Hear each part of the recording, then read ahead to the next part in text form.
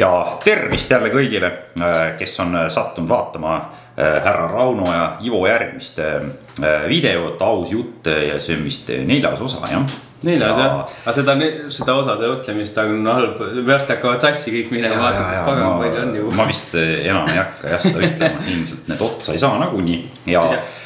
täna siis äh, alustame sellisest teemast või tähendab, ainult see teema meil ongi tegelikult täna, et sellest vist tuleb juttu, nii et halb hakkab. ja, ja, ja see on siis äh, ületreening, mm, ületöötamine ja ülepingutamine. ja meil mõlemal on korralikult äh, kogemust sellega ja just siin mingi paar nädalat tagasi olime mõlemad siin suht augus omadega vist vaata, oligi niimoodi, et eh, mina süüdistaks seda ja. kella keeramist nagu natukene selles, et eh, kuidagi nihkus see ärkamine varajaseks ja eh, minul kodus näiteks lõi kõigil režiimi paigast, et kassid, koerad, kõik läksid jumala lolliks, et mina hakkasin hommikul ärkama ja need vaatasid mind sellise näoga, et, et värdjas oled nagu, et mis sul viga on. lapsel lõi režiimi täiega ära, et ta ei läinud õhtul ei läinud magama, hommikul ei tulnud üles ja ütleme, mind ennast mõjutas ka päris karmilt see asi ja siis me vaata omavahel mm. rääkisime ka nagu. ma ütlesin sulle ka, et kuule, et ma olen vist kuradi täitsa perse ennast tõmmanud, et, et mul on ikka nii halb olla ja vaata eelmine kord, kui me videod lindistasime, siis ma istusin ka nagu vana laip sul siin diivani peal.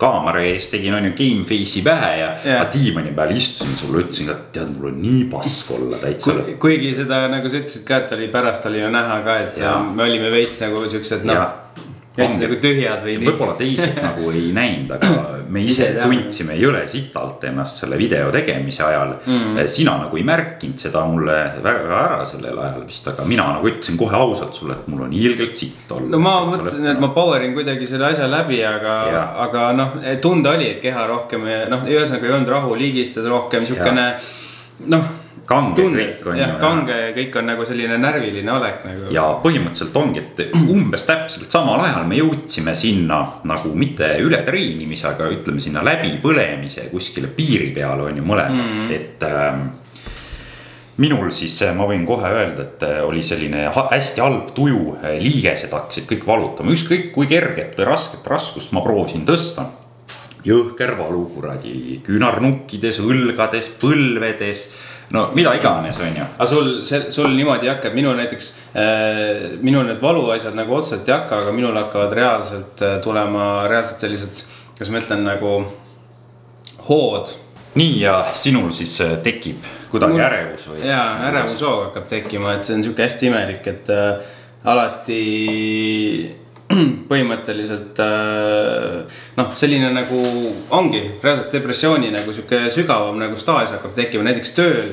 teen mingit asja, tunned, et ei saa nagu hästi hakkama või nagu näiteks aeg pressib peale mm -hmm. ja reaalselt tunned, kuidas hakkad nagu hingeldama ja mm -hmm. nagu lähed närvi. ehk siis nagu selline kokkukukkumise tunne hakkab tekkima, et täiesti ulme noh. et see ei ole normaalne jah okei okay,, väga hea, aga selles suhtes, et äh, võib-olla minul ongi siin sümptomid kirjas, et äh, Ivo siin on uurimustööd ka ikka natuke teinud ja ei ole päris laiselnud, et ähm, võtsin netist, uurisin kõvasti selle kohta ja et äh, kahjuks Raunole ma ei andnud äh, infot, et ma nii põhjalikult asja nagu võtan, et äh, ta ei ole nagu päris valmistunud selleks, aga. ta on sihuke kõva jutumees. no tegude mees on ka, vabandust, on ju, ei ole päris nii, on ju, aga. ma olen loominguline. jah, et, ähm, et jah, hakkame siis pihta ja ühe sõnaga ei tule, hakkame siis vaatama, nii esimene sümptom siis läbipõlemise, ületreeningu kõige puhul, et Äh, jõudluse vähenemine treeningutel, et on tuttav teema, on ju. täielikult. lisa midagi. täielikult, no võtame jõudluse vähenemine metsikus hulgas, ütleme, kus ma siin olen nüüd olnud äh, kümme, üksteist kuud äh, tehniliselt tugevas defitsiidis pidevalt siis ma võin öelda niimoodi, et minu selline tüüpiline katsetusmoment on rinnalt surumine sada kilo mm. -hmm ja minu, minu maksimum on olnud kakskümmend kordust järjest. Ja. ja nüüd ma siis ütleme niimoodi, et äh, suutsin teha üleeilsega suutsin teha kõigest kaheksa mm. -hmm. kujutad sa ette, missugune mm -hmm. jõudluse vahe on nagu ja. kadunud. ja noh, midagi teha ei ole, samas nagu vorm on ju kõvasti parem, kui ta eales on olnud, aga seda jõudu ei ole. hakkad lihtsalt värisema noh. jah, et äh, ma ütleks ka nüüd selle läbipõlemise koha pealt, et äh, Lähebki nagu saali kohale, tunne on juba sihuke, nagu ta on, on ju, ei ole nagu noh, hakkad tundma, et midagi on valesti, et kas see nüüd üks päev, aga ütleme, kui see on juba mitu päeva järjest mm. -hmm. ja ongi, et mida iganes võtad, teed seal küki rinnalt surumist, baasharjutused on sellised mm head indikaatorid nagu või nii. et, et mille põhjal sa nagu näed kohe ära, et ja noh, ongi, et kohe alguses mul ei teki neid liigeseprobleeme, aga et need jõud mul kaob lihtsalt ja ma tunnen nagu, et kurat, et no nagu mingi tank vajuks tead peale, et mm -hmm. ei liigu see kang ja ei, ei lähe üldse, et vot selline asi nagu, et lühidalt see. see on põhimõtteliselt ju noh, ongi näiteks see, et äh, on olnud näiteks kõva jalapäev ja siis mõtled, et teed äh, mingi paar päeva hiljem teed näiteks seljapäeva mm -hmm. ja mõtled, et teed jõutõmbe.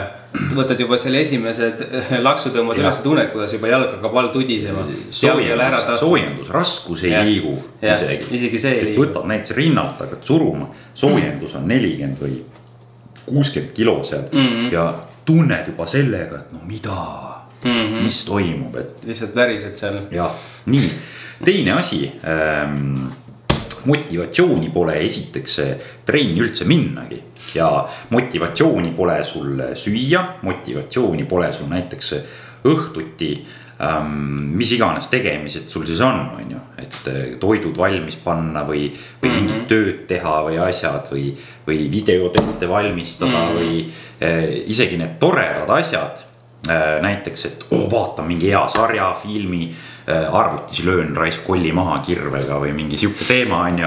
Äh, lähen lasen autoga ketsi natuke, et ei taha mitte midagi ei taha teha, et äh, see on ka üks väga hea näitaja. ja kuidas see mõjutab ju ka üleüldiselt meie suhteid kõikide ja. teistega, et siis arvatakse, et me oleme, kas ma ei tea, kas midagi on juhtunud, kas me oleme pahased, kas ja noh, mis iganes, kas tüli on majas, ei ole, me lihtsalt oleme väsinud mm. -hmm. noh, me lihtsalt ei jõua endaga hakkama enam saada, et see kõik see suur keha tahab saada kütust, aga ta ei saa seda õigesti peale ja, ja giidil on eriti lihtne veel mm -hmm. jah, et äh, mina olen kohe, kui ma olen aru saanud, ma olen ka äh, prouale öelnud, et tead, et ma olen jõle sitas seisus, ma olen ennast nagu üle tõmmanud, vaata. no ta näeb ka mm. -hmm või, või ta ei näe pigem või ma olen sihuke nagu mingi võlur nähtamatu ma ei jõua koju tead. ma teen muudkui tööd, siis ma teen trenni, nüüd ma olen kodus treeninud, vähemalt ma olen kodus üleval korrusel, kolistan seal. vähemalt ta teab, et okei okay,, elab yeah.. et aga viimane kord, kui ma üle paugutasin, ma ütlesin talle ka, et äh, siis meil tekkis selline vestlus ka, et ta ütleski, et ma olen muidu sihuke noh, nagu hardcore positiivne vend, et. et ei olegi iial minu suust kuulnud nii palju seda, et mul on halb, ma ei jaksa, ma ei jõua, et. ma olin nagu väike tüdruk seal, nutsin seda, seda on nii hästi, ma täiesti regis-, täiesti nagu registreerin seda momenti, et. ma toon alati oma tuttavatele sõpradele, toon alati selle momendi esile, et tehes, ma ei tea, kahekümneselt trenni ja tehes, ma ei tea, äh, kahe, no ütleme kolmekümneselt trenni, et see on mm -hmm. suur vahe. et on. kas sa, kas sa tuled järgmisel päeval tuleb peolt ja lähed juba hommikul trenni või sa tuled peolt ja sa ütled järgmine päev. Ah, tead, ma ei jaksa ja siis lähed ülejärgmine päev trenni. et see on ikka suur vahe, et äh, ja. kõik peab paigas olema, et vanem, mida vanemaks saad, seda paremini sa pead taastuma, noh, midagi täpselt, teha ei ole. täpselt, äh, võikski kohe öelda, et siin paned, on ju pidu kõvasti, et kahekümneselt läks päev kaks aega, et taastuda, praegu on tead neli või niimoodi, et keerad endal nädal umbes, pekki. umbes jah, et ja. kehast ei lähe see mürk välja enam. okei okay,, nii motivatsiooni pole jah. Kolmas asi siis sümptom on see, et halb tuju on. Ja ei ole nagu põhjustki selleks, ärkad hommikul, pole tuju. Mm -hmm. lõunat lähed sööma, pole tuju, töö juures ülemus tuleb, ütleb midagi, teeme midagi, aita. Ei taha saadata võib-olla pikalt, hakkad saatma, oled sihuke tõre ja sihuke, et ja. Ja, ja sa ise ka nagu täpselt eh, ei saa aru, kui sul pole kogemust selle läbipõlemise ja kõigega ülepingutamisega, et millest sul see halb tuju siis nagu on, et mm. -hmm. ja siis pärast noh, kui sul juba on kogemust ja siis mõtled ka ikka, mina olen ausõna, ma olen mõelnud, eh, vabandage väljendi pärast, aga et. et raisk, ma olen ikka räige munn vahepeal, et, et noh et hoia tagasi ennast nagu ma olen sihuke, vahest hakkan jõle otse ütlema ja ongi, et. Jah, ma töötan liiga palju, ma tunnistan seda, et ma olen ületöötamise treenimise Eesti meister, et kuradi mitmekordne, et äh, ma lähen täna ka tööle. et äh, teeme oma videod, värgid, särgid siin ära ja härra Ivo läheb jälle, annab kuuma, et äh, jah, ma ei oska puhata ja see on üks äh, halb asi võib-olla kohati. see on tõesti jah, see, see vaata jälle hakkab mõjutama seda kõike seda välist, et okei okay,, sa võib-olla iseendaga kuskil urus istud omaette ära ja, selle paha tuju, aga kui sa pead sõbrad, olema. pered, värgid. jah, pidevalt olema kellegiga koos ja ja siis see inimene ei mõista võib-olla ka, mida sa teed, noh, parem ongi, et üldjuhul need inimesed, kes siis niisuguse treeniga tegelevad, üldjuhul neil on sellised kaaslased, kes ja, saavad aru. aga noh, tihtipeale tulevad ähm, teisest ringkonnast ja siis sinna see trennid ja asjad lähevad no.. jah, aga ega ma ei oskagi enda kohta midagi muud öelda, et mm. töö tegi ahvist inimese ja Ivol on veel väga kõvasti tööd teha. meil on, meil on nüüd kruvikeeraja, ahvil on nüüd kruvikeeraja. ja, et Ivost inimene saaks, ta peab väga palju tööd veel tegema, nii, okei okay. äh, lihased, lihased, lihased on kanged ja valusad ja Äh, nagu ma juba rääkisin, et liigesed ka on ju, et äh, sümptomid ja äh, noh, mida iganes, et inimestel tekivad ju veel peavalud, silmad mm. kuidagi vist hakkavad valutama. kaelavalu. ja, ja et kõigil on ju erinev see asi, et sa oled massöör, no sa oled küll näinud neid inimesi et.... ja sportlased, sportlased, kes minu käe alla satuvad ütleme, neid on, neid on kõige lihtsam töödelda, aga samas on nad kõige õrnemad ja kõige nagu selliste nii-öelda probleemsemad selles suhtes. aga muidugi eh, probleemsus võib-olla tekib pigem selles, et eh, kuna nad oskavad registreerida, mis neil viga on, et mm -hmm. nii-öelda siis tavapärane jutumärkides tavapärane inimene, kes siis tuleb, tema üldjuhul, ta kurdab mingisugust asja mm -hmm.. okei okay,, ma otsin selle vea ise üles, ütlen talle, mis tal on, aga sportlane mm -hmm. tuleb minu juurde, ütleb, et mul on see, see, see asi valus, vigane et ehk siis tee korda et ma ei pea ise otsima otseselt. jah, et äh, noh, seda, seda sümptomit ja teemat, sellest me juba rääkisime, on ju, et, et mhm. noh, kuida minul on ja kuida sinul on ja et äh, see on juba tegelikult ära räägitud, et sellel ei hakka vast peatuma siin rohkem väga. nii, äh, mis nüüd mind hästi palju mõjutab, see on hästi hea nagu punkt siin, et magada ei saa esiteks ja une kvaliteet läheb hästi halvaks ja mul on hetkel veel see ka, et eh, poiss kasvatab sinna hambaid endal. Eh, varsti oleme ühel pool nendega, viimased neli tükki on tulemas ja need on need kõige hullemad ja ongi niimoodi, et. Eh, palju nuttu. ja nädal aega, poolteist nädalat on juba nutab ja nutab ja öösiti vähkleb ja kuradi mm, ütleme, et siin eelnevalt on ikkagi trehvanud, nii et ma olen jälle seal piiri peal olnud ja kui eh, laps veel ka seal öösiti natuke krõbistab või midagi teeb, siis ehm, eh, jah, noh, meil on piimaring ka öösiti alati, et see rikub nagu jõhkralt seda und. ja kui sa oled seal üle treeninud veel niigi üle töötanud ennast, siis see uni on niigi halb nagu mm. -hmm. ja ma selle põhjal nagu saan ka äh, väga hästi aru, et mul enam ei ole und äh,. ma ärkan vara, mul on hästi halb olla kogu aeg, ma käin öösiti üleval et äh, kui ma olen ikkagi mm, kuidagi seal taastumas või, või ikka see olukord on parem kõvasti, siis äh, ma lähen vahepeal ikka õhtuti magama. Äh, proua, mul on hea naine, mul ei ole midagi öelda, tema igastahes ärkab, on ju. ja jah, ja toidab poissi iga öö, et mina ei ole veel jalaga perse saanud kordagi, et, et mine nüüd sina, on ju, et noh, mina teen kõvasti tööd ja teenin raha, et, et tema siis on kõik need ülejäänud asjad enda peale võtnud, aga jah, et see halb, halb une kvaliteet siis tuleb nagu mul, et. et kohati ongi see, et ma magangi mingi kolm tundi ja ma ei saagi rohkem magada ja siis.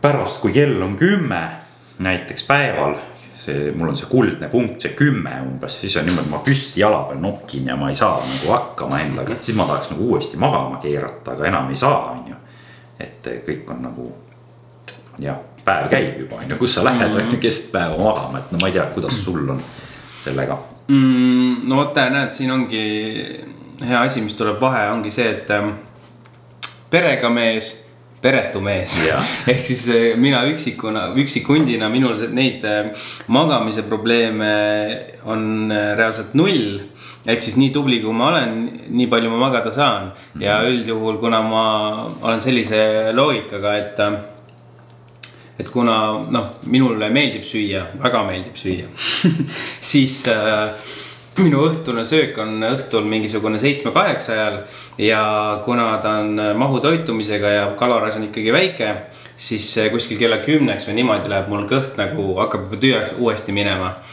Ja, ja siis ma lähen spetsiaalselt sellepärast varem magama, et saaks hommikul juba kiiremini tõusta ja süüa. Lihtsalt söömise pärast lähen varem magama juba. Ta teema.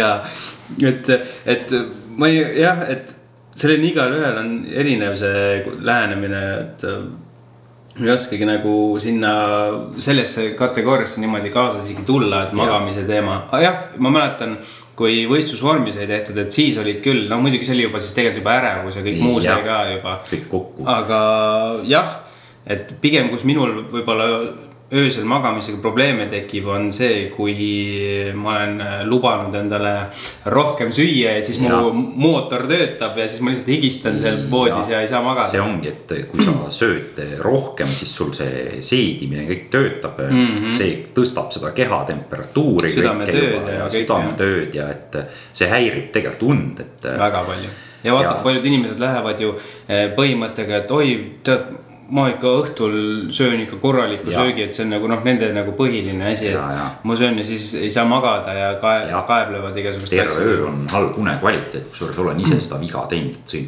hästi palju valku ja värki ja kõike õhtul mm -hmm. just enne magama minekut ja olid ka unega ikkagi probleemid. jah, no valku on ikka vaja, aga vaata, ongi see, et. mitte, mitte liiga palju. jah, et ta võiks ikkagi noh, tasakaalus teiste asjadega ka olla, et ta nagu ja. käiks läbi. Noh. okei okay,, aga see on toitumise värk. jah, see on juba toitumise teema. ei hakka siin nukustama oma toitumistega ja värkidega ja nii aga need on siis sümptomid enam-vähem, mul on siin see üldine väsimus ja kurnatus ka, noh, sellest me juba põhimõtteliselt kõike rääkisime, on ju mm. -hmm et äh, hommikust õhtuni sa oled kurnatud, sa oled väsinud, sul ei ole tuju mitte millekski, et noh, äh, saad juba aru, et midagi on valesti, on ju. jah, isegi sinu lemmiktegevused ei paku sulle enam nagu huvi, näiteks ja. ongi, et no, jah. tahadki mängida või mis iganes, et äh, no ei, ei taha, taha, noh, lihtsalt ja. istudki seal arvuti taga ja vaatad oma videot ja.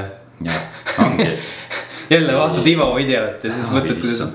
mul ei ole neid nii palju, kurat, sul on kõik ära vaadatud juba. ei ole ja, mul on veel pooled veel minna ah,, okay. vanemad videod on veel minna. mida vanemaks läheb, seda sitemaks läheb, et ma ei soovita enam sealt mingist kui, piirist kui ei tea ajalugu, ei tea ka tulevikku. täpselt, tegelikult nii ta on nii ja enne, enne kui me lähme siis äh, steroidide kallale, jess, saate oma steroidid, mõned mehed, jah, see on, see on heroiin. aa, sorry ma ei tahtnud näidata, nojah, ikka õlga või kintsu või tagumikku või. narko jääb. jah nii, aga mm, räägime siis äh, enda nagu äh, kogemustest. mina üritan jälle kiirelt teha ühe sõnaga nagu alati ja räägin oma kõige hullemast äh, kogemusest, mis mul üldse on olnud, siis ma olin kaheksateistaastane, nii nagu me oleme siin rääkinud, mul kodus jõusaal ehitatud Äh, panen jälle mingi auto sõitma siia. täna on autopäev tegelikult. jah, käisime siin kuuma andmas autodega just enne ja. video tegemist, saime veits adrenaliini verre raisk. ju, sai näidata, kuidas tal auto tõmbab nii äge, keegi, keegi oli huvitatud. jah, V8 ikkagi, lemmikmootor. ja, ja, ja äh, räägingi siis edasi, et äh, olin kaheksateist, käisin, äh, tegin trenni kodus ja tegin kuus korda nädalas trenni ja päris raskelt ikka, nii palju kui jõudsin ja noh, nii ma lugesin, nii tegid ju kõik teised ka. tähendab Mägesini vennad, ajakirjamehed, need mustad poisid enamasti. jah, fleksimehed, üks pani isegi endale Flex Wheeler nimeks endale, et. ja, et neil olid need kanged valgupulbrid ja asjad, nemad taastusid sellest ära, aga Ivo sellest ei teadnud veel hästi midagi ja äh, nii oligi siis, et äh, Äh, töökoht oli mul nii-öelda saekaatris, mm, vanasti oli saekaater, tänapäeval on puiduettevõte või midagi iganes tänapäeval on uhked äh, nimed kõigil juba.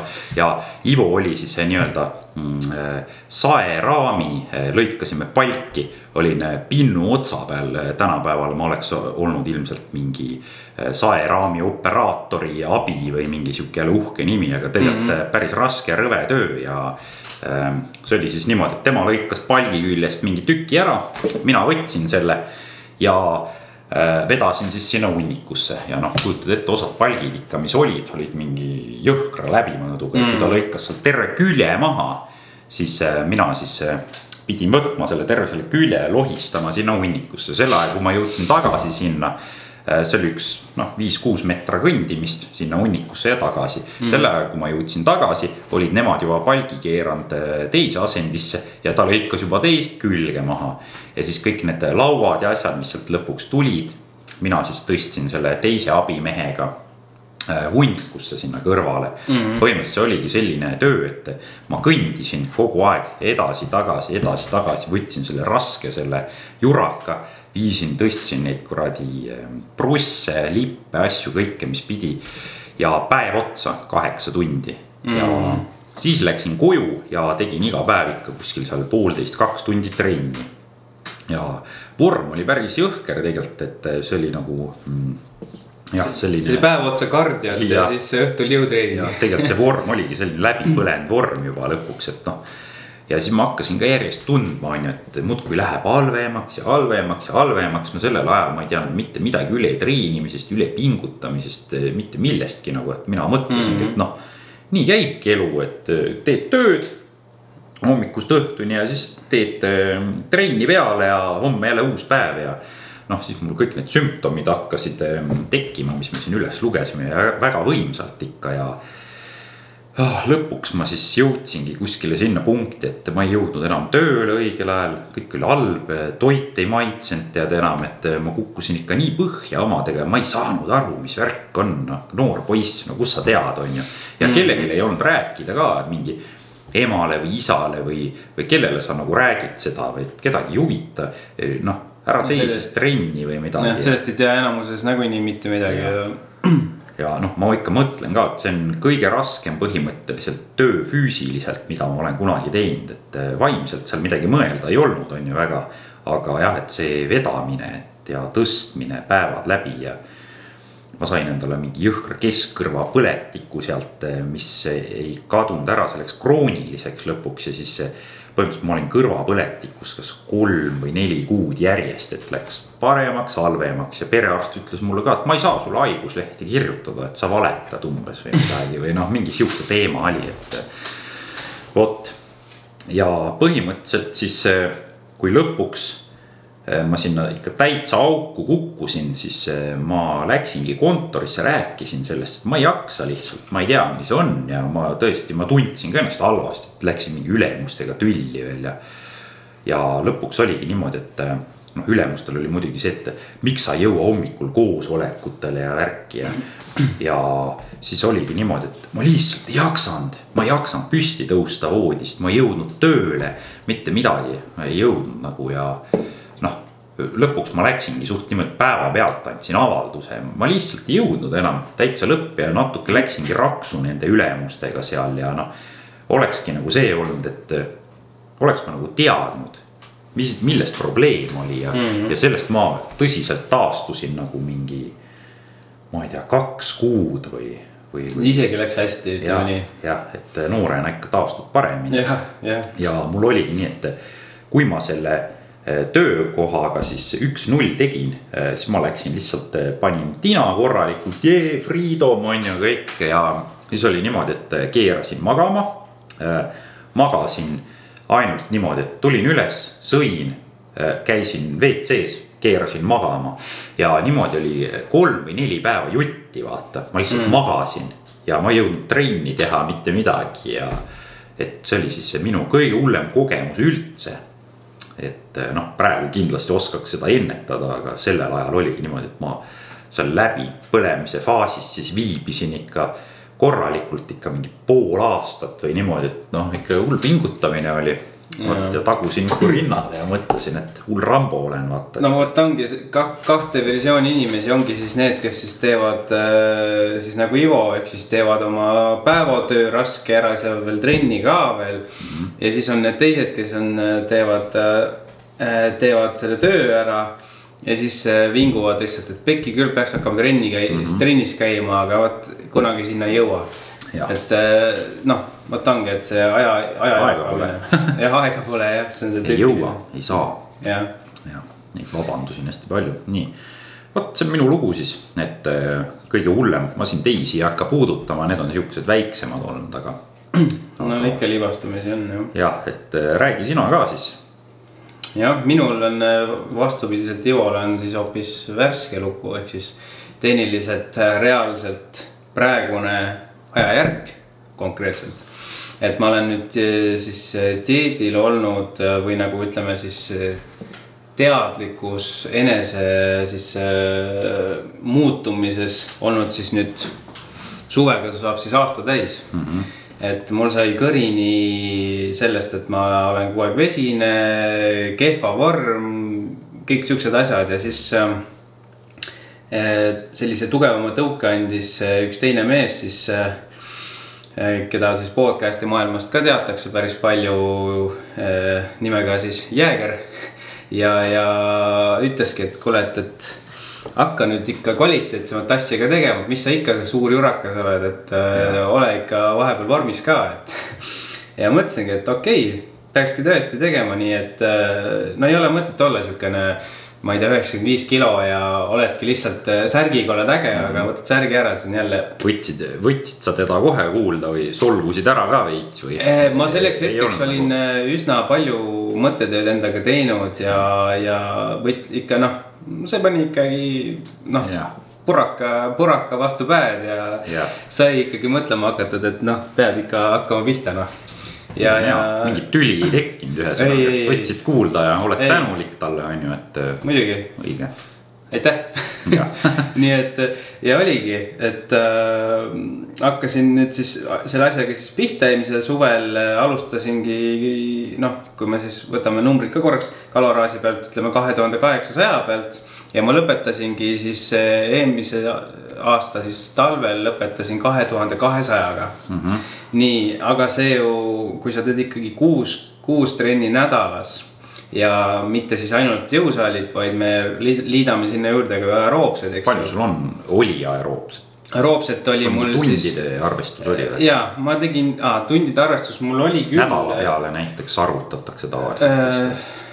noh, kus, kus ta seal võis tullagi, ütleme mm,? noh, väga palju tegelikult alguses ei tulnudki, ütleme võib-olla viis tundi võib-olla maksimum kokku eh, nädala peale. ole vait, noh, see on ikka jõhker noh. no ma, ma, ma ei tea, selles mõttes ma käisin see jalutamas, et see ei ole päris see trenn. no jaa, kuule ikka noh, see on liigutamine põhimõtteliselt kui sa tempokalt kõnnid, siis. no ikka tempokalt jah, et tollel hetkel ma tegin. seda on ikka teist, palju noh. jah, teist tööd ka ja ma jalutasingi ringe parklas, alumises maa-aluses parklas tegin. sa olid põhimõtteliselt siis pidevalt et kuskil seal läbipõlemise piiri peal et see on ikka korralikult ju. ja, ja oligi, aga ma ei pannud seda tähele, sest et äh, ma õppisin äh, sellest hetkest peale äh, mahu toitumise selgeks Greg Tusseti oma.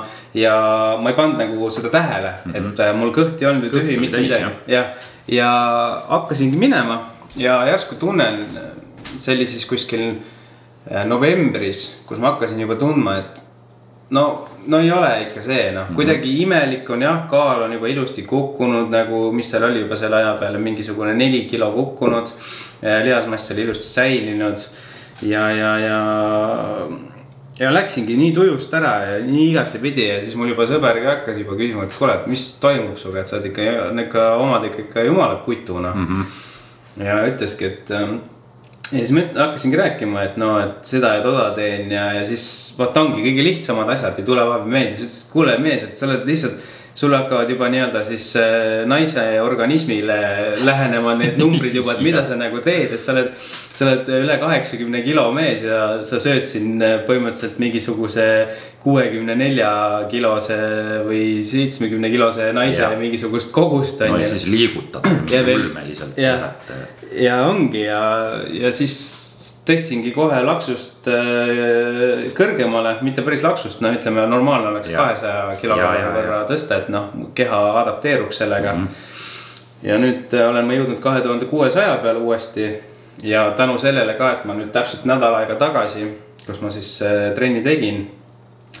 tundsin jälle, et noh, läksid kohale, hakkasid tegema ja no, no lihtsalt reaalselt nutt tuleb kurku lihtsalt noh yeah., sa lihtsalt sa ei taha teha, sa, sa nagu, sa tead vaata hinges, et sa, sa oled kohas, mis sulle meeldib, see on yeah. sinu mängumaa, see on yeah. sinu mänguplats, kus sa tahad olla, teha yeah. oma asju.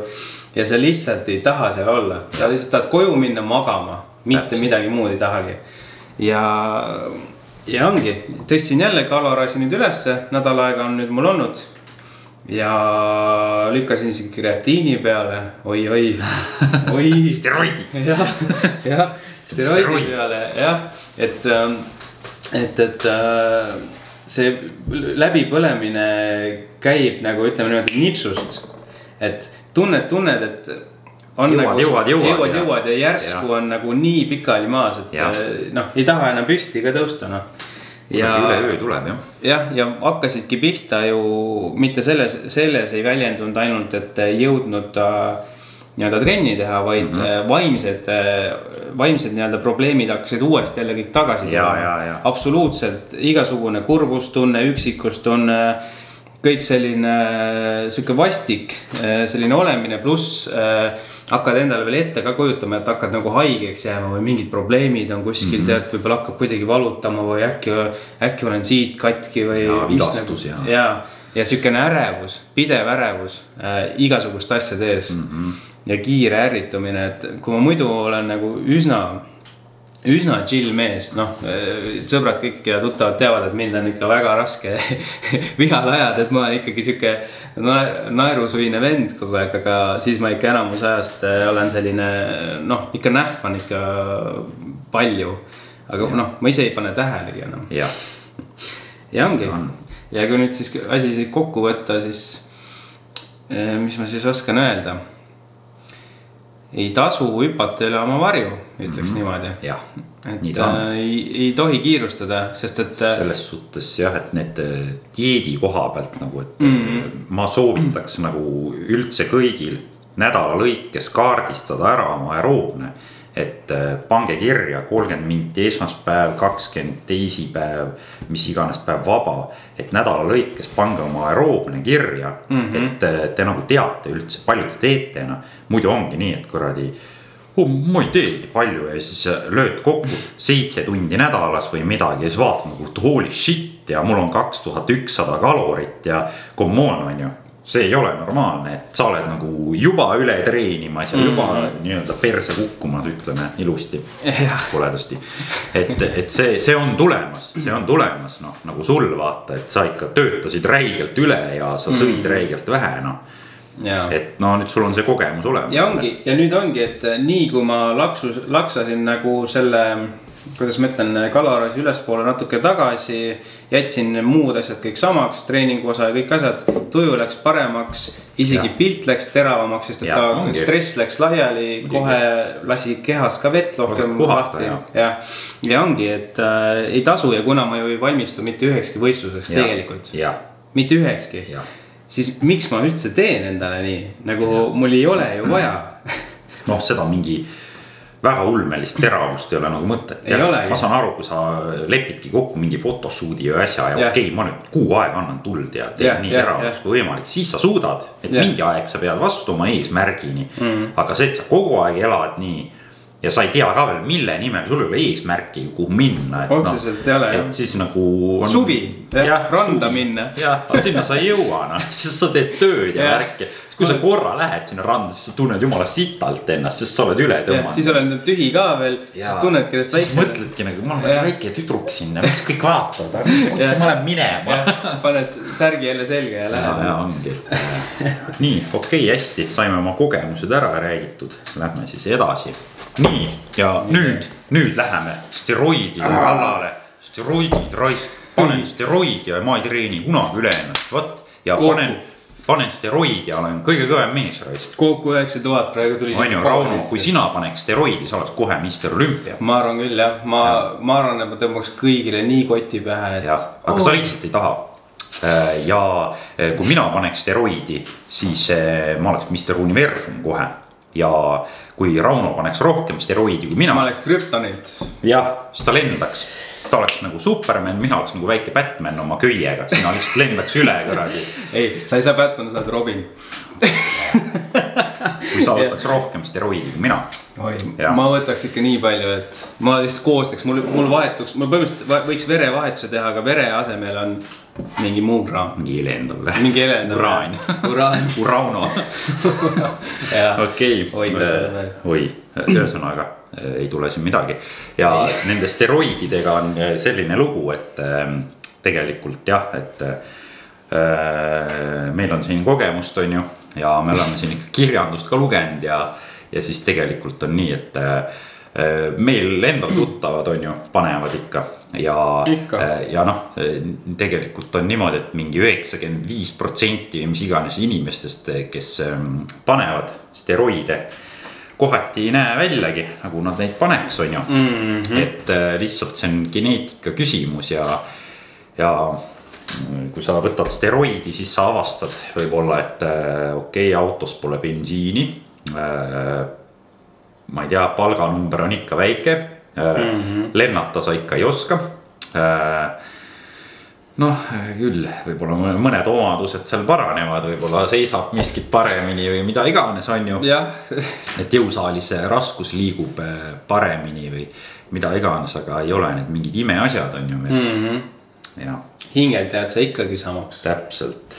seda sealt ei tule. pigem need võivad rohkem probleeme juurde tekitada elus. et ja. Eh, kui sul praegu on valida kas sa hakkad mingi Bemmi mehega kiirendama foori alt või mitte, siis praegu on niimoodi, oh, mine kukele on ju mm., pane ennast põlema. aga kui sul on mingid kemikaalid äh, veres, mis võimendavad sul neid äh, halbasid omadusi võib-olla natuke, et sa lähed närvi kiiremini ja mida iganes. siis sul tekib võib-olla isu vajutada selle Bemmi mehega õidu ja siis ähm, saja meetri pärast on see, kas see mees seisab seal või tänapäeval on aluse peal see kaamera ja, seisab ja. seal ja palju õnne sulle. Äh, steroidid tegid su elu just palju raskemaks, on ju ei ole midagi nalja siin, et ähm, ja millest me tahtsime natuke rääkida, et äh, steroidid ja ületreening, et tegelikult äh, steroidid ei päästa sellest, on ju et lihased, liigesed, luud, värgid, särgid taastuvad kiiremini, aga et ei taastu nagu see vaimne pool ja närvisüsteem ja kõik asjad mm -hmm. ära, on ju. et see taastumise pool on ikkagi geneetiline, et mõned profid treenivad kaks korda päevas, mõned üks. noh, mõned tavainimesed ka samamoodi, nad võivad pääseda sellega, on ju. et nad treenivad rohkem, võtavad aineid, treenivad veel rohkem aga, aga kui sul on ikka see soodumus läbi põleda, vaimselt nagu pekki kukkuda kuidagi, et mm -hmm. ei päästa see steroid mitte kuskile sind, on ju. jaa et äh, soovid ka midagi lisada, Ivo ainult räägib. ja need, äh, ja need imelik. tegelased, äh, kes noh, ütleme siis ainete peal on ja muudkui aga lasevad ja litivad, et et nad on ju ikkagi kalorid, kalorite suhtes on nad ikkagi plussi, plusspoole peal ja siis nad ei tunneta mm -hmm. võib-olla seda nii palju, et, et neil oleks väsimuse moment, aga kui sa oled veel. ütleme siis ainete peal ja sa oled veel dieedil ka. jah, see protsess on siis nii-öelda läbipõlemise protsess on mingis mõttes, eks ju, pikem, aga kui sa sinna jõuad, siis see on veel ekstra suurem nagu ja. ekstra, ekstra. ja sest, et kui me võtame selle ainete toksilisuse ütleme maksale, neerudele mm -hmm. ja üldse noh, kogu siis sisikonnale, et siis. et mida me siis väliselt üldse ei näe, eks, et yeah., et see, see põntsakas tuleb kõva, et miks on ju näha ju, kuidas osad tegelased järsku on sunnitud minema kõigepealt maha, sest mm -hmm. arst ütlebki, et kuule poiss, et kui sa nüüd siin veel mõni, mõningad, mõningad sutsakad paned, siis sul lihtsalt äh,. hästi ei lõppe see asi. jah, et sa pead hakkama varsti mingisugust äh, uut organit endale ootama või ja. mis iganes, et sa lihtsalt äh, kutu varsti noh. ja osad, osad steroidid siis on niimoodi, et äh, vaata, nad ei anna seda massi, on ju, nad ei tõmba kehavett täis ja mm. kõike mida iganes. et äh, need lihtsalt öeldes siis stimuleerivadki seda mm, närvisüsteemi, on ju mm. -hmm.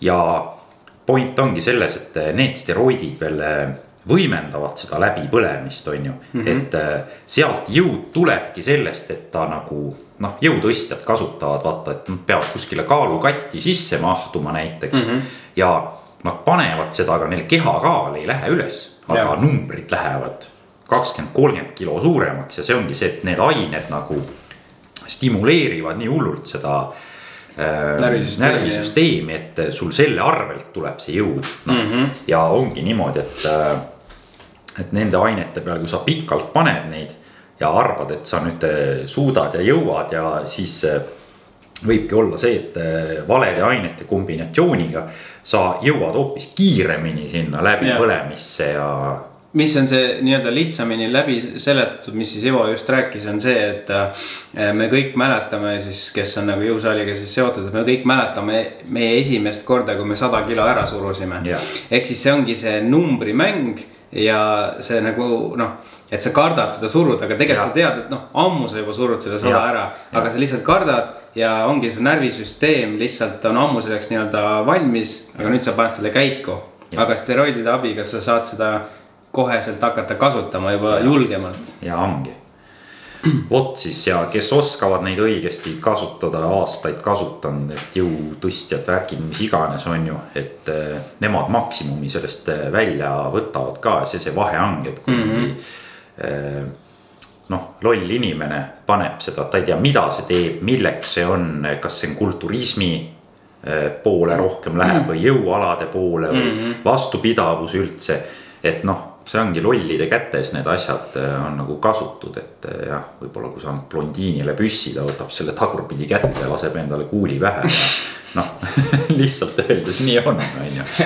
et, et jah et see on see steroidide koha pealt see jutt on ju, et ärge arvake midagi, et eh, mina nüüd tellin need ja mul tuttav toob nood ja aetaks teile mingi ilus jutt veel kokku ja et ei ole nii lihtne see elu. ei ole, sest et omal ajal ma mäletan, kui ma nende asjadega rohkem seotud olin ja kui siis need äh, noored metsapullid, kes hakkasid ka kõik suure hooga ka otsima ja hankima neid, siis kõik see jutt sinna alati taanduski, et kui palju ma nüüd hakkan võtma ja kui, kui, kui suureks ma siis ikka kasvan ja lähen ja, ja, ja siis, ja siis kuni nende esimeste vigastusteni, sest et ei saada aru, et okei okay,, närvisüsteem on üles ergutatud, lihas on suuremaks pumbatud, aga mis kaasa ei tule, kõõlused, kiiruse kinnituskohad, igasugused vigastused lihtsalt naks ja ongi puruks, et.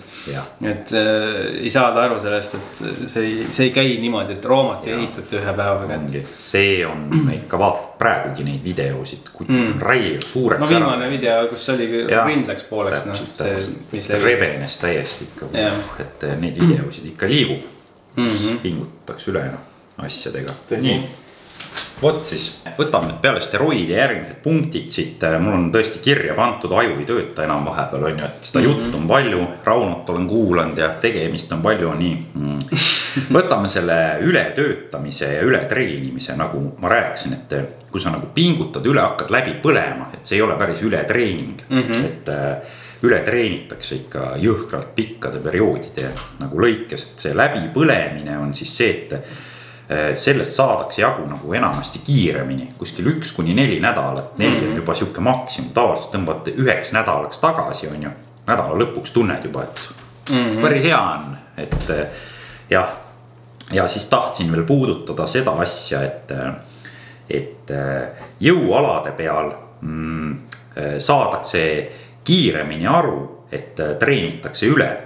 Et need äh, raskused äh, annavad kohe sulle nagu mõista, on ju, nagu me Mm. enne rääkisime, on ju. ja nagu minu see Et- näide oli, vaata sada kilo, et. täpselt, et äh, aga vastupidavusalade peal inimesed on nagu kuidagi vastupidavamad ja, ja neil ei ole seda hetke power'it kohe vaja mm. ja nad ikka lähevad ja jooksevad, sõidavad oma ratast, ujuvad. et, et sinna liigutakse vaiksemalt sinna ületreenimisse ja läbipõlemisse, aga lõpuks see tagajärg on nagu võib-olla kõvasti hullem, vaata, et mm. -hmm. neil võib-olla ei piisa sellest, et lasen nädalaks järgi või midagi ja tulebki see, et võib-olla taastutakse sellest eh, isegi mitu kuud, on ju. Mm -hmm. et eh, jah, nii ta on, et eh, võtab kõvasti aega, noh. jah, ja kindlasti lisaks ka, et oleme nagu tasemest, on ju. Et eh, kas sa oled mingi UFC kuradi proff siin või Mm -hmm. või, või mingi vastupidavusala mingi olümpiavõitja. et, et eh, jah, et see taastumine ja treenimise tase ja kõik, et see on ju jah, kui sulle aitab näiteks veel ma ei tea, neli või viis inimest aitab sul kõrvalt taastuda veel vaata, sul on siuksed rahad tiim, taga. tiim on taga jah.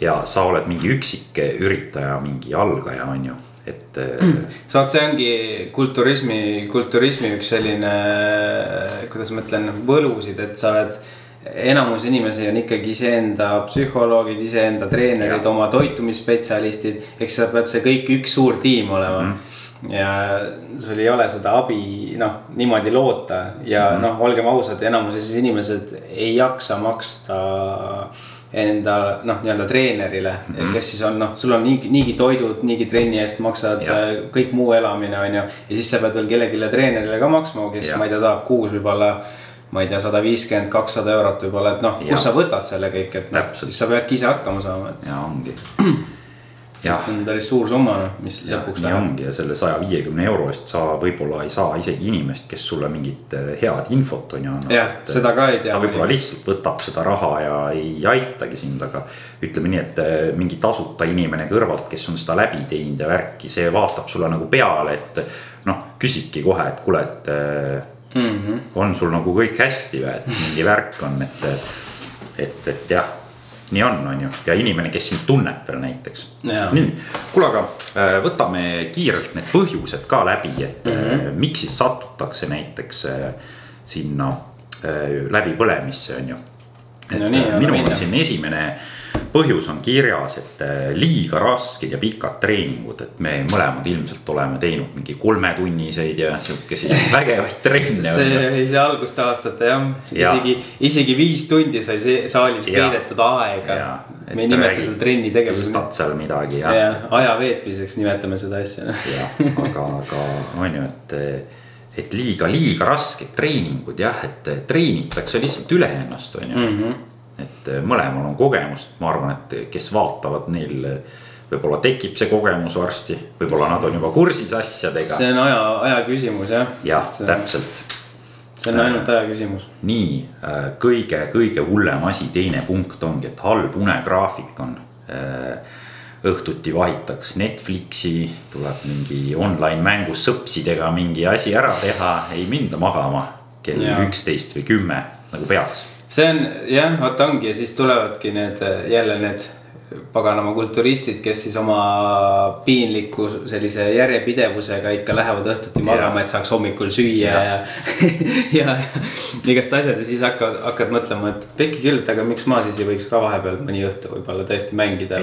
aga lihtsalt äh, ongi, ja ongi, aga me oleme lihtsalt nii selle asja sees ja me lihtsalt keskendumegi, et ehk siis et kui kulturism on siin keskel, eks ju, ringi keskel, siis need kõik asjad nagu kuidagi koonduvad selle ümber kogu aeg. ja, mhm. ja noh, siia alla lähebki, et liiga vähe und on ju mm -hmm..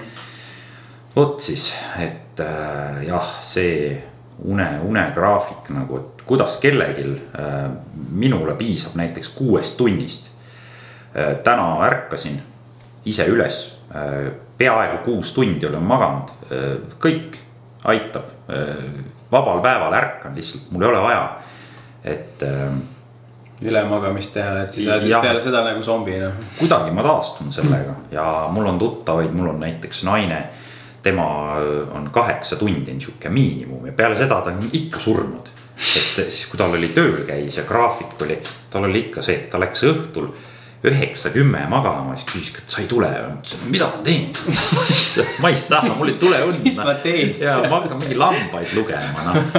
ja tema läks ja magas nagu kotti ja hommikuni välja, noh ja, ja muidugi. ma tegin talle suht nagu kiiresti selgeks ka, et mul ei ole vaja nii palju und.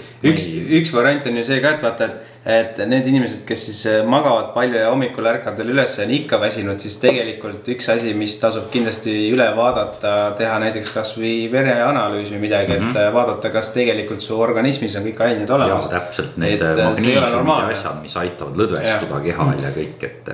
just, et see tuleb ikkagi, kuskilt see tuleb, et see ei ole niisama. see on ju vahe ka, et kas sul on see REM-uni nagu see sügav mm. uni või siis sul on see pinnapealne, kus sa seal mingi vähkled ja keerad ja ma ei tea. mida iganes, seal toimub, igalühel unes omad mingid fantaasiad. jah ja. nii. nii, siis on sul veel see punkt. ja eh, kolmas punkt, eh, palju kõrvalist stressi ja kaks väga head asja on mul siin, millega on nagu kokkupuudet olnud, et on raha esiteks ja laenud ja sellised ja. asjad. et kui sa kogu aeg nagu ärkad, iga hommik, sul on palgapäev ära olnud juba, sa maksad oma asjad kõik laiali ära. sul jääb mingi niimoodi, et napilt-napilt kütuse jaoks raha, mõnel isegi ja seda, mõnel pole autotki mm, -hmm. sul napilt-napilt on toidu jaoks raha mm, -hmm. sa ei jõua endale riideidki osta. ja tulevad veel lähedaste sünnipäevad tulevad. ja, ja fuck jälle mingi sünnipäev, mõni kuu on niimoodi, et äh, kolm sünnipäeva, noh, igale ühele tead ikka pannakse ümbrikusse või teed midagi, korraldad mm -hmm. midagi. ja sa kogu aeg elad ots otsaga kokku ja, ja. sa iga kuu lõpp jääd fucking miinusesse ikka mm. -hmm. et sul ei ole nagu mingit sellist reservi äh, raha et see jõhkralt tekitab stressi nagu räigelt ja kõige hullem on veel see, et mina nagu uhke inimesena olen olnud seal eluetapis ja eh, minul on ikka see, et ise, ise ja, ja. ja kui ma pean minema siis näiteks õelt või eh, vanematelt või kelleltki küsima nagu näiteks, et kuule, et võlgu nagu mingit toiduraha või midagi või. või ma pean jälle sealt krediitkaardi pealt võtma, mida mul enam ei ole ma olen mm. lihtsalt pooleks lõikasin selle, mõtlesin, nüüd ma hakkan kõvaks meheks. seda, seda ei ole vaja. jah, et, äh, et sellised asjad nagu äh, soodustavad seda läbipõlemist ikka väga hullult, et no. Äh, see rikub sul juba tuju ära, vaata mm.. noh. rahateemad on alati, see on ju, kui, kui kuulata ju kasvõi paarisuhetest või asjadest, et siis põhiteema ju, millega ju tülitsetakse, ongi raha ju. sest et noh alati on seda puudu ja alati on sellega mingisugune probleem ja kui inimesel on siis ka sellised äh, majanduslikud probleemid selle koha pealt, et ta ei oska, kas siis rahaga ümber käia mm. -hmm. noh, mis on siis tüüpiline noortele iseloomulik ja muidugi noh, ilmselgelt ka täiskasvanutele. ja, ja, ja, ja hakkabki see nõiaring pihta mm -hmm. ja sealt välja tulemine, see on, see on jälle omaette ooper, et. ja noh mis siia veel võib panna, et näiteks suhteprobleemid, et äh, üks inimene on nagu trenni inimene äh, teine inimene on kunsti inimene või mis iganes, lihtsalt inimene, ta ei olegi mingi noh, tulebki koju, paneb telksi käima, teeb süüa. ootab järgmist tööpäeva, tal mm. ei ole nagu elus mingit eesmärki ja äh, siis ongi, et sina hakkad talle näiteks jalgu jääma mm. omast kogemusest räägin praegu, et olen kuulnud palju tuttavatelt ka, et sina hakkad talle sellega jalgu jääma, et sina oled sihuke saavutaja tüüp ja tahad, lähed, teed. miks mm -hmm. sa mhm. nii kaua pead trennis olema, miks sa nii pikalt pead tööl olema? et, et sellise inimesega eh, te lihtsalt ei klapi, olgu teil lapsed, olgu teil pered, mis iganes. et kui näiteks nüüd Ivo avastab mingis vanuses, et eh, tema tahab saavutada mingeid tiitleid või tööga midagi. ja see võtab tohutult tööd äh, nagu enne juba ütlesin, töö tegi ahvist inimese, Ivol on veel palju tööd teha. et, äh, et selles suhtes ongi ja kõrval on selline elukaaslane, äh, kes ei toeta seda, tema tahabki lihtsalt noh, surma oodata, lihtsalt öeldes siis, et ja noh, oma keha laseb minna ja kõik, et tal ongi suva nagu kõigest elust ja noh noh, see, see on, see on see näitaja on ka väga oluline, et kas nüüd eh, tark inimene ja loll inimene hakkavad koos elama, et eh, kui võtab mingi umberikas ärimees ja mingi sihuke. võtab endale mingi sihukese rumalama naise võib-olla või vastupidi, on tänapäeval ka, et on väga tegijad naised. tänapäeval on isegi vastupidi. ongi, on, on, ma, mul on tuttavaid ka ja võtavad endale sihukese rumalama mehe nagu äh,. ei klapi mm. -hmm. ei klapi, võite hambad ristis, pange, pange kümme aastat, pange viisteist aastat järjest ja lõpuks läheb see asi, noh. ikka läheb jah. kui tahate sellest välja rabeleda, siis see on ainuke võimalus ja seal peab midagi olema, on ju ühist, et. muidugi see noh, tundeid ei saa fake ida, et need on, kui ei ole. jah, et äh, tööstress on ka noh, ma arvan, me mõlemad oleme äh, sittade töökohtade peal töötanud no nagu... kakskümmend üks erinevat töökohta, nii et äh, ma olen igal pool töötanud, ma olen nii kontoris töötanud kui ja. ka kraavis. jah, ja kui, kui sa sealt tuled lõpuks on ju ja sinu peale on ikka situtud mingi tubli mitu korda. Et see soodustab seda läbipõlemist, just seda vaimset läbipõlemist. no ikka ja, sest et ju ikkagi ootad elult ju absoluutselt äh, seda kõige paremat, et kui meil on ikkagi siin jooksevad mingid Ameerika filmid ja asjad, et ja. see American dream nagu öeldakse mm, -hmm. et mhm. siis et äh, siis sa ikka ju mõtled, et oi, ma ka ikka elan majas varsti ja ikka mul on ka ikka Tesla ikka maja ees, mis on äh, maru loodusesõbralik ja, ja kõik ilusad jutud ja, ja, ja, ja siis ja siis sa mõtled, et sa oled, hoiad just seda paganama labidat seal käes ja vihma sajab ja mm -hmm. sul on kummikud juba ammu vett täis ja sul on siin kõrgepingeliin, mis, eh, mida sa nüüd, kui vigastad, siis sa põhimõtteliselt maksad selle paganama kinni. kui sa üldse ellu jääd. jah, kui sa ellu jääd et, eh, et siis sa, siis hakkad nagu mõtlema, et pagan küll, et kus see minu maja ja kus see minu Tesla on ja miks ma siin eh, paganama mudamülkas nüüd möllan oma labidaga, et. täpselt. et tahaks ju, tahaks ju ka nagu elada siis seda ideaalset kulturisti elu, kes siis treenib, magab, sööb et ja, ja mingid vennad veel toovad veel süüa ka koju ja. see ongi ainult videodes see elu, et äh, need tüübid on ka ja. räigelt vaeva näinud või siis nad on lihtsalt perses omadega, lihtsalt video jaoks tehakse mingi äge, võetakse rendiautod ja värgid-särgid ja oo sõidan Lamboga ja. no jälle koondsõnana Instagram. jah, täpselt ja Youtube ja, ja, ja.. nii okei okay., see teema läks lappama jälle, hakkasime, hakkasime no, rääkima. vaata, meil ongi see, et kuna meil on seda sellist äh, üleüldist äh, ütleme siis silmaringi igasugust, siis meil ta ja. lähebki nagu laiali vahepeal, et täpselt. ei ole hullu ja Ivol oli tore kuulata jälle Rauno mõtteid ka, nii äh, halb, halb toitumine, dieet ja liiga vähe toitu, nagu sa enne rääkisid omast kogemusest on ju, et sa mhm. avastasid, et ikka tüdrukute kaloraažiga mehetegusid ei tee, on ju väga raske on, saab hakkama, aga raske on et noh, halb toitumine on see, et kui sa hakkad räigelt trenni tegema, siis esimene asi, mis sul on vaja, on kütus, on ju. jah, muskelauto ei sõida ilma kütuseta. ei sõida ja ongi, et et dieedi peal on siis see, et sul hakkab pikalt tulema see asi paistma nagu.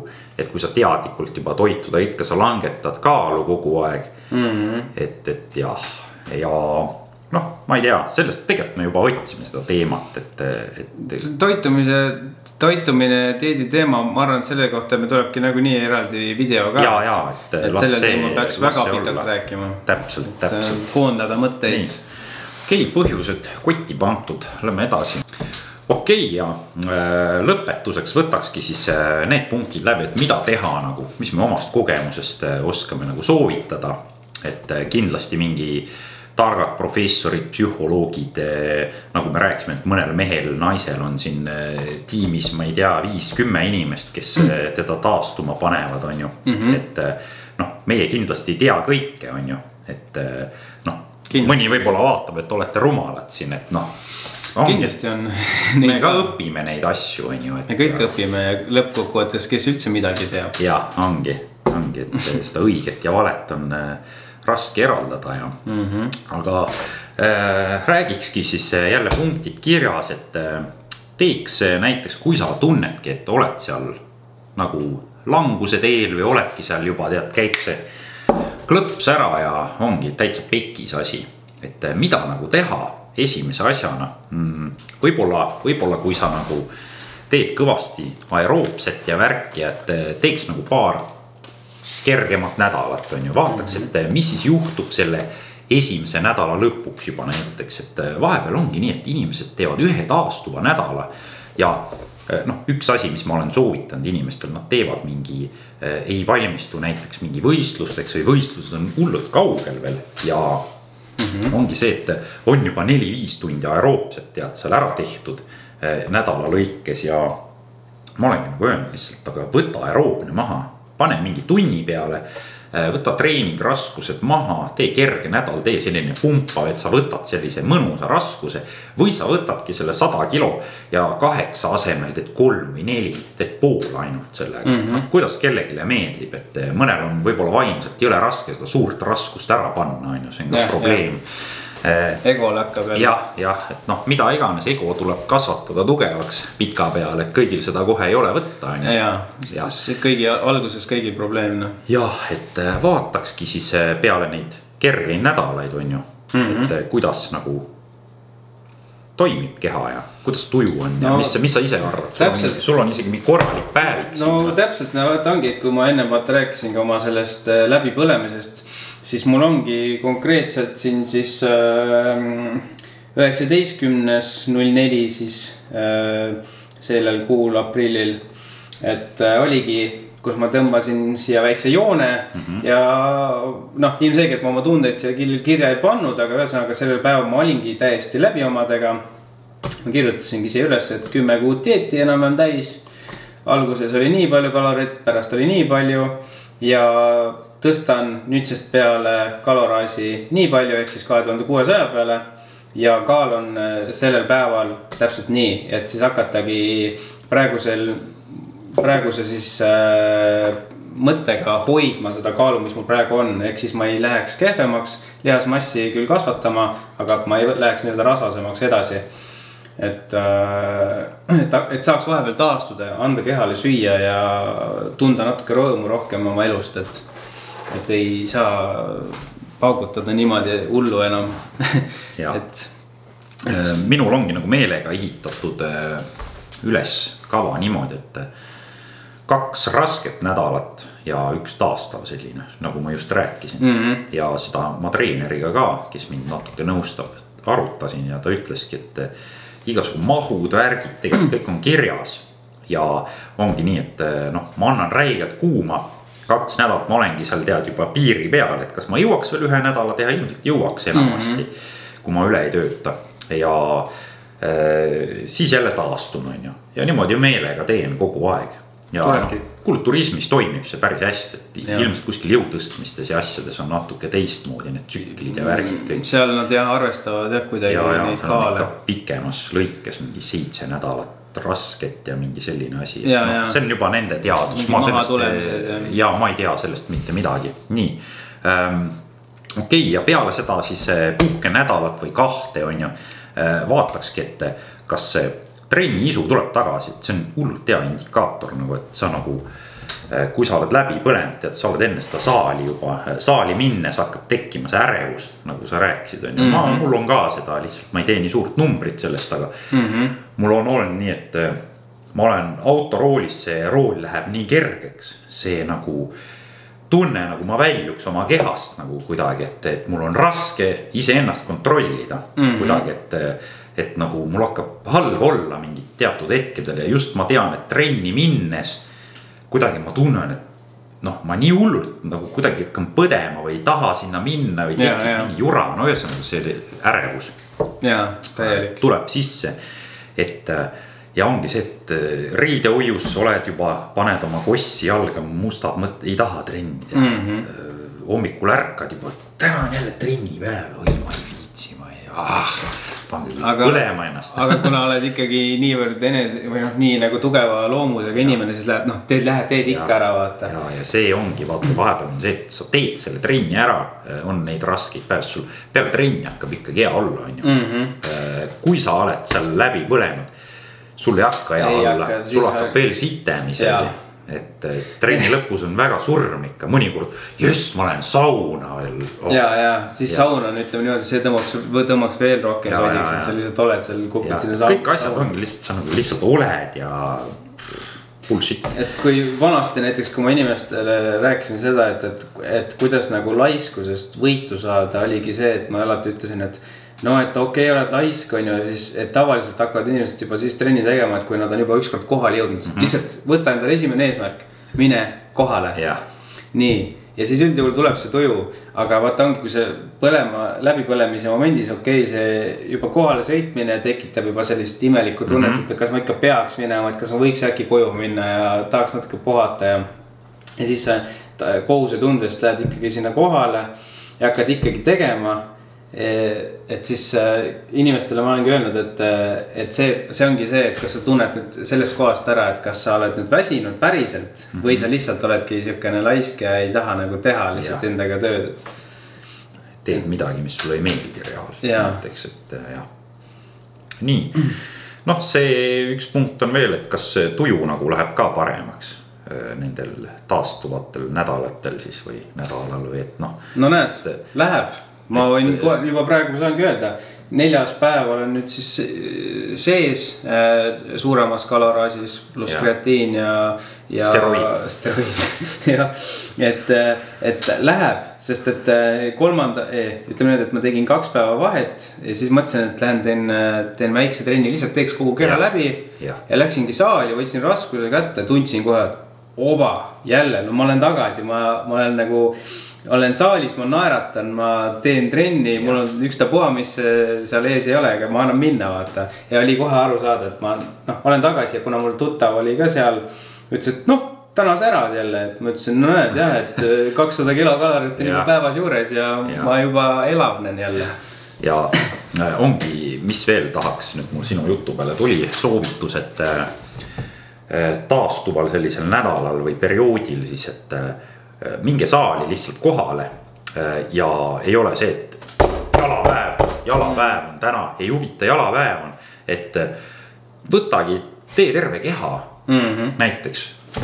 või mul on tuju selga teha, pekki need jalad, noh, ega need nädalaga ei kao kuskile. Äh, või, või ma teengi ainult ettetõsteid täna või tahaasteid kokku või mingit, ma teen mm. -hmm. superseeriatega mingit asja või gigantseeriatega, et järjest mm. -hmm. paned lihtsalt, teedki oma. Neli seeriat, kaheksa seeriat järjest mingi kümne minuti või kaheksaga ära ja mm. -hmm. ja tunne on hea, mõtled, jess, vaheldus, see vaheldus juba annab Jaa. selle väikse sellise Aga- boost'i on ju. see ongi, see on see asi, vaata, mida õpib aastatega, enda, enda keha tunnetamine, enda enda kuulamine, sest noh minul ei ole näiteks, mul ei ole mitte mingisugust konkreetset kava mm.. Mhm. vaid mul ongi, et ma saaksin enam-vähem kõik lihased kaks korda nädalas läbi treenida mm. -hmm. aga kui ma ütleme täna lähen, ma ei tea, selga treenima ja ma võtan selle raskuse juba kätte ma tunnen, no ei ole täna Ei ole seljapäev, no no ei ole seljapäev ja siis ma hakkangi kohe adapteerun ja lähen edasi, võtan Mhm. muu asja.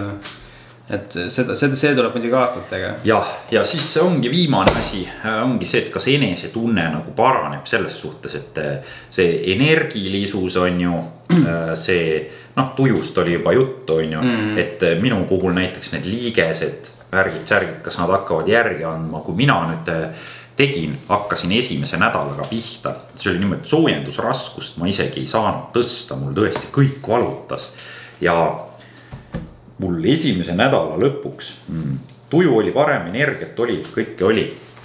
aga see liigeste valu ikkagi ei taandunud nagu ja Mm. selle põhjal ma vaatasingi, et äh, ei, üks nädal veel ma teen sellist äh, noh, ma tegin küll trenni äh, noh, suhteliselt kõvasti ikka, aga, aga see oli kuidagi selline superseeriad ja selline pumpamine ja andsin tuld rohkem. aga kas sul lihased ei hakka nagu tõmblema vahepeal või nagu niimoodi, et sa saad Äh. no, nagu reaalselt näiteks mind äratavad lihased siis, kui nad on üle väsinud, äratavad öösel üles, et nad Jaa. tahavad nagu seda, et, palun pinguta mind Mul, tee midagi nagu sihuke hästi ja, imelik ja tunne tekib. mul ei ole seda väga palju, et mul pigem tekivad krambid, aga mul hakkavad tõmblema mingid kohad küll ja kõige hullem on, mul hakkab kulm tõmblema, tõks, tõks, tõks käib.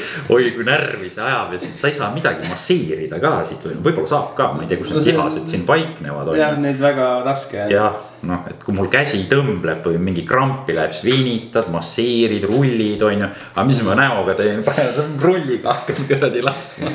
ja mul on olnud küll seda, et dieedi just eh, lõpu need otsad eh, enne võistlusi, siis mul hakkab mingi näopiirkonnad just silmad ja siis see silm teeb sul päev otsa tin-tin-tin-tin niimoodi.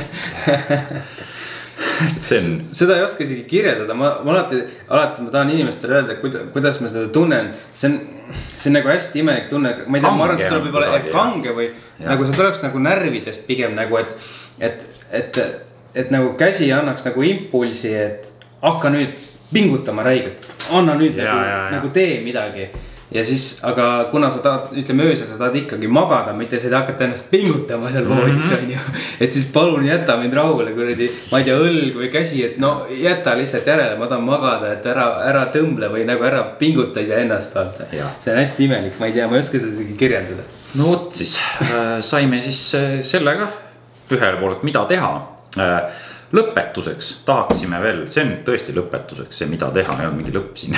aga, aga jah, et ähm, mul on siin veel punktid, et mida mina arvan nagu, et äh, ma arvan, et sul on umbes sama, et mm, -hmm. et treenima peaks nii, et meeldib. et äh, mitte, et võtad ja. mingi, ma ei tea, kelle iganes kava ja hakkad seda üks-ühele tegema või mingi treener tuleb, on ju, ja sunnib sind, ma ei tea, mida tegema. Jah. kui sa ikka tunned südames. valesti, jah, sa, sa ei, sa ei oska. jah, et kui sa ikka südames tunned, et see treener on jobu või midagi või noh, siis ta sinu jaoks võib-olla ongi jobu ja võib-olla ta üldises mõttes on ka jobu, lihtsalt sa veel ei tea seda. noh, on, on selliseid inimesi. see on äh, nagu noh, massaažiga on täpselt samamoodi, et sul peab olema selle inimesega ikkagi teatud mõttes nii-öelda keemia, samamoodi nagu siukene sobivus mm, Mhm. -hmm. nii hingeliselt äh, kui ka nagu selline suhtlus, sest et äh, sa pead ikkagi selle inimesega vaata aega koos mm. -hmm. veetma ja, ja ta peab sinust ikkagi aru saama, et treener ei ei tohiks kohe kindlasti olla see inimene, kes hakkab sinu maailmavaateid muutma, vaid ta peab olema see, kes nagu hakkab pigem sind toetama ja suunama lihtsalt, et kuidas sinul oleks kõige parem, mitte kuidas temal oleks parem et ja siis need trenni jaotused ka on ju, et kas kolm korda nädalas või, või kuida iganes, et Mhm. Et ja siis mul oli tegelikult viimane punkt ka siin, et mitu korda nädalas üldse sul on võimalik treenida, et näiteks palkadki endale mingi karmi treeneri on ju või midagi mm.. ja, või võtad mingi umbekava kuskilt internetist ja seal on kirjas, et kuus korda või viis korda nädalas ja äh, kodus on, on ju pere, kes sind ootab, on ju lapsed küsivad, et miks issi või emme kodus pole või mida iganes, on ju. et noh, see on minu enda näide, ma tean. ja miks mind issi opale ei võta, vaid võtab mingi kangi kogu aeg siia. kas ta armastab seda rohkem või jah, ja tekivad lapsel jälle mingid probleemid, et äh, jah. kangi armastab.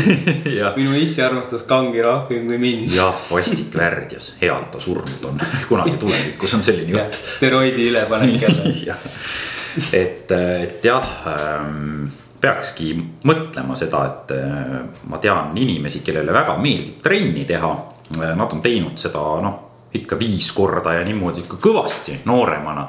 aga tekkis perevärgid, särgid ja äh, tark inimene mängibki ümber ja mm. äh, raskelt saab treenida ka ähm, kolm korda kolm korda nädalas tulla Jaa. kohale ja leppida kokku ja ongi, et mina näiteks oma küki viisin kolm korda nädalas trenni peal kaheksakümnest saja kaheksakümneni äkki või, et rinnalt surumine samamoodi kuskilt sealt alla saja ikka sinna saja neli, sada viiskümmend, sada nelikümmend sinna vahele, et ma neid maksimume väga ei proovi, ma viie korduse pealt arvutan. et, et noh, saab ikka areneda ju mm. -hmm. tegelikult ja kasvada ja kõike, et ka kolme korra peal jah, sest et ju- me räägimegi kasvamisest, siis ongi ju, see on ju taastumine. ja täpselt. sul on rohkem aega taastuda, sa ei ole kogu aeg saalis ja võib-olla ongi hea tuju, kui saad vähem trenni teha vahepeal. vot ongi ja kui sa ei olegi ju võistlev äh, inimene ükstapuha mis alal, siis tegelikult sa ju peaksidki ju lähtuma oma tervisest ju. sa teed seda Jah. ju enda tervise nimel ju. ja kui Jah. ta sulle meeldibki, siis see annabki sulle nii vaimselt kui füüsilist nagu jõudu, et. jah, ja noh, see punkt siin oli küll mul jah, et, et kui mingi treener käseb sul näiteks mingit sitta teha, et mingit kahtlast harjutust või mingit imelikku tehnikat või midagi ja mm, sa tunned, et sul on kuidagi halb sellega ähm,. mäletan kunagi, kas minu arust üks inimene rääkis midagi, ma kõrvalt kuulsin nagu, et nad arutasid seal, et ähm, tal oli mingi põlvega mingi teema olnud ja siis treener käskis tal mingit harjutust teha mm. -hmm. siis ta ütleski, et saad aru, et mul on valus, ma ei saa mm. -hmm. ja siis see oli talle enam-vähem öelnud, et, et nojah, aga sa pead, kui sa tahad mingit lihast arendada või midagi ja mm. -hmm. see oli ka täiesti tavaline inimene, tead, käis kodus, paitas ilmselt oma kassi õhtuti ja värki ja. Ja et ta ei teinud seda mingi taseme jaoks, ja, ja noh, et. ja isegi kui sa taseme jaoks teed, siis sa saad tegelikult ju Ümber. ümber nurga teha Jah. kõike muud, et mina näiteks samamoodi, ma ju ei tee kükki. Rauno ei tee kükki et ma teen paljud ei tee, IFBB kuradi profid, osad ei tee kükki no.. jah, sest et äh, ma teen kõike muud et, Jah. ja tänapäeval on igast ägedaid masinaid ja, ja kõike värki, millega ma saangi oma jalgu teha igatepidi noh.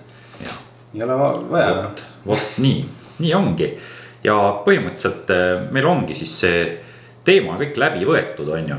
me ei hakka mm -hmm. sinust äh, rohkem venitama seda, et tehke asju nii, kuidas teile meeldib ja see on see põhiasi, et taastuge, kui vaja.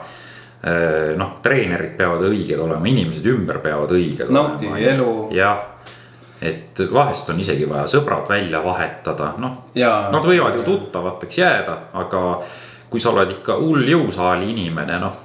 No siis üldjuhul need suhtle tulevad, sellistega. jah, tulevad nad ümber ka muidugi jah, aga ja. muidugi ei ole ainult hea ka ainult jõusaali meestega Jah. suhelda, et. et Kindel see. jah, et silmaring võiks ikkagi säilida laiana, et äh, seda rohkem sul enda elu põnevam on. no nii on, et äh, kuule, aga ma ei tea, ütlemegi lõpetuseks midagi ilusat ja mm, ma ei teagi. Tõmbame otsa kokku, Ivo ütleb jätkuvalt lõpetuseks, et äh, töö tegi ahvist ikkagi inimese ja Ivol on kõvasti tööd veel teha ja äh, lõpetangi sellega oma jah, video. ma arvan, et ma olen sinnasamma auku, et ahvist inimese ja nüüdsest peale mul on ka kruvi, kruvikeeraja ka. et ahv, ahv ma olen endiselt, aga nüüd kruvikeeraja ka. järgmiseks tuleb akudrill. oh,. Seda peab laadima ka, siis me peame elektri leiutama.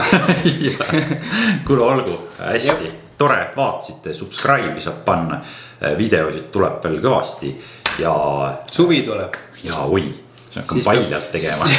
palja ülakehaga jah, siis on vorm juba parem. Ja ja, üks, siis üks. ripub tagurpidi stringidega posti küljes ja kuidagi, ei, seda me ei tee, okei Ei, okay,, nägemist. tšau,